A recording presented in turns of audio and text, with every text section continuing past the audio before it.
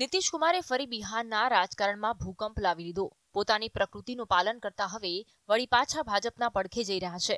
પરંતુ રસપ્રદ વાત એ છે કે ખુદ નીતિશ કુમાર કે તેમના અંગત સાથીઓ તેના પર ચુપ્પી સાધી બેઠા છે. જેમ જેમ નીતિશ કુમારનું મૌન લંબાઈ રહ્યું છે, તેમ તેમ લાલુ જૂથમાં બેચેની અને ભાજપમાં ઉત્સાહ વધી રહ્યું છે. બિહારની તાજા સ્થિતિ પર દરેક પક્ષની નજર છે. જો નીતિશ કુમારે રાજીનામું આપી દીધું તો બિહારમાં નવી સરકાર કેવી રીતે બનશે?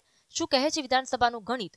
નંબર ગેમને સમજીએ તો બિહારમાં વિધાનસભાની બસો તેતાલીસ બેઠકો છે અને બહુમતીનો આંકડો એકસો બાવીસનો છે. નીતિશ કુમારના રાજીનામા બાદ વર્તમાન સત્તાધારી પક્ષ રાષ્ટ્રીય જનતા દળ અને તેના સાથી પક્ષો પાસે બચશે એકસો પંદર ધારાસભ્યો. એકસો પંદર ધારાસભ્યોમાં આરજેડીના ઓગણસી, કોંગ્રેસના ઓગણીસ, લેફ્ટના સોળ ધારાસભ્યો સામેલ છે. આ ઉપરાંત ઓવેસીની પાર્ટીના પણ એક વિધાયકનું મહાગઠબંધનને સમર્થન છે.